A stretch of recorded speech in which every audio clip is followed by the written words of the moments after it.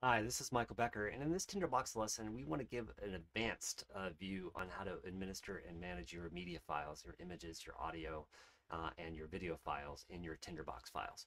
And in particularly, what I want to do is teach you how to add caption and source um, to your images. So uh, we're building off of the working with media uh, intermediate uh, lesson.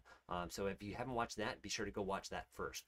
Um, but I can give you a quick review. So for, if you recall uh, how you go ahead about it, for example, uh, integrating um, media, and I'll actually I'll do it this way, uh, is you, oops, I'll do it this way, is you can go and you know import your HTML and you know using the value, um, the um, export code to be able to pull in from attributes as we discussed in the last file, you can do that here. And that's what we're going to leverage for integrating actions. So for example, let me go ahead and I'm going to copy um, this, um, this file here and I'll hit copy paste and we'll say now this is image with captions. Okay, and uh, as we talked, uh, captions. Uh, now, as we talked about in the previous lesson, um, I use Text Expander to be able to uh, pull in code snippets that I have to that I reuse all the time. And so I actually have a code snippet too that not only includes um, the path to be, for me pulling in my images and uh, for me to be able to specify the weight, weight, uh, the width and the height of my images or my video files or my audio files, um, but also um, for me to be able to pull in other attributes too, like uh, the caption that I want for the media or the source. So let me go ahead and uh, I use uh, my uh, forward slash image as my snippet for doing that. So let me go ahead here. I'm going to delete this code and I'm going to go ahead and type image what's going what that does is that now has um, text expander uh, say okay great here's the snippet you want uh, where you know and this is all stuff I programmed into TextExpander if you guys have questions ask me and I can uh, do a video around this as well.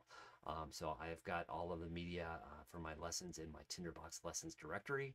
Um, let's say we want to make this image you know 400 uh, pixels width and now I'm going to hit OK now let me show you and uh, read this code for you and see what's going on. So this is specifying that I'm importing an image. The source is telling me, telling Tinderbox where to get the image. So that's the uh, directory path on my computer. Um, this is your export code that's saying go out and go to the attributes of this particular file and grab the attribute named media file and insert the file name here. Uh, and so, or basically insert the string, which happens to be the name of the file on my hard drive here. Um, now, what else is going on here? I've got other action code here. This is an if statement. This is saying if media caption um, is uh, it contains information, uh, then uh, and I'll, go, I'll, I'll show you the uh, let's add the prototype so, so, so you can see that here. So um, I know we got to reset the prototype. All right. So if you say if media caption contains information, then show me that uh, bold it. You know, this is another tag for HTML bold media caption, and then end the if. And then do another if. If media source contains information, and then put in parentheses the that media source information. So let's go ahead and show you what's happening here. So if I um, go ahead and hit preview now, we're going to get expected. There's the image that we want to have here. Now, if I go ahead and put a caption in here, um, image of Michael Becker teaching um, TBX media management. Okay, so now because there is a uh, value in media caption here, this is now going to be held true. If media caption um, uh, is has a value, then go and there's another way to do that by the way too. As I could say equals and then um, and actually I want to say does uh, explanation point equals and then uh, put in two quotes. So if I do that, and I want two smart quotes. Um, and again, as we talked about in the previous lessons, there, those would be smart quotes like that. Watch the lesson to be able to get it.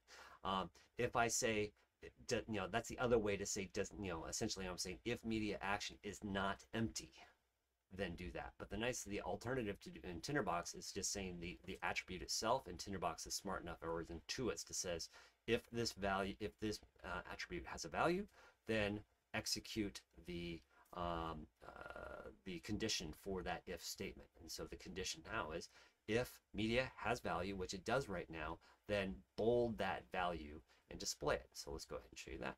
There you go. So image, Michael Becker teaching TBX management. And then if we want to go ahead and do the same thing here, if it has source, I can say uh, Becker 2020.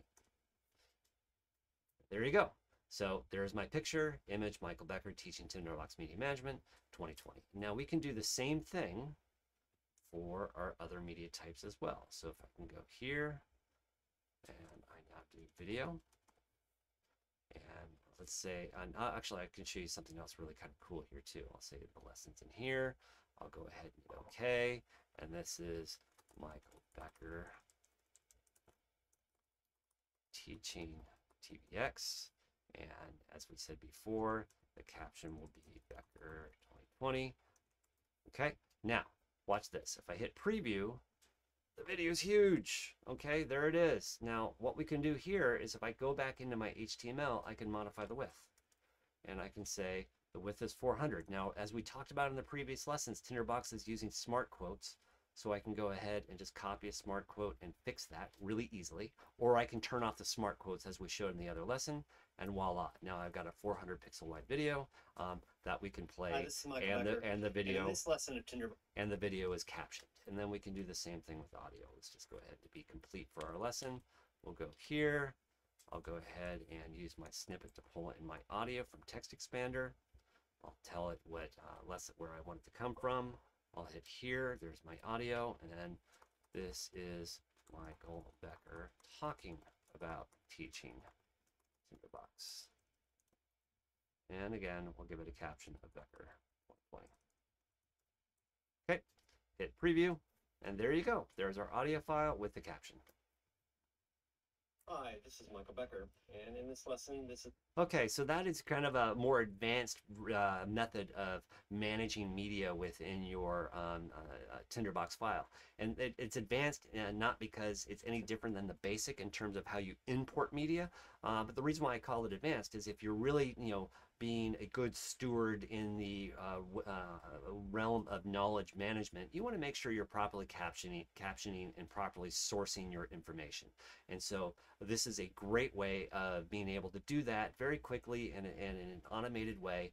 Um, using the um, you know the basically the export codes uh, model and if you want to learn more about those I highly highly encourage you to start spending a lot of time with the tinderbox reference file so this is uh, this is aTbRef. This is uh, a uh, file that has been uh, lovingly developed over the last 10 or more years by uh, Mark Anderson.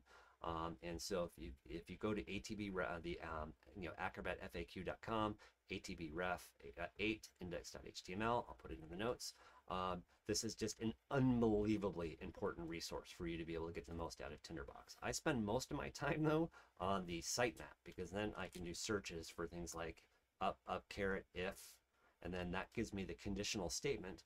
And then I can go in here and read about conditional statements. And again, now that you've kind of uh, seen how they work, hopefully it will help you read um, the aTbRef file a little bit more uh, easier as well. So with that, thank you very much. Let me know if you have any questions. Bye.